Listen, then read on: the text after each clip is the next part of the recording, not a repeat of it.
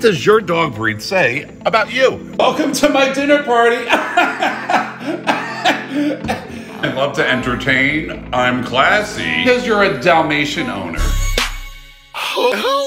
You also have a delicate, sensitive side, but do not release the crazy. If you owned a Jack Russell Terrier, you got a lot of energy. Like to bring the energy as well. And you love pool parties. Ugh. If you have a little bit of the OCD, ugh, like why? Why? This way, this way.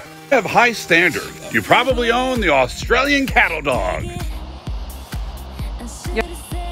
Yes. If you get worried if this happens at your house, who's at the door? And you just like to Netflix and chill, you probably own the Basset Hound. Because I am a lazy man. I Hey, are you new here? Yeah, I'm new. Let's be friends. If that's you, you're the proud owner of an English Mastiff. Love to garden. Ooh,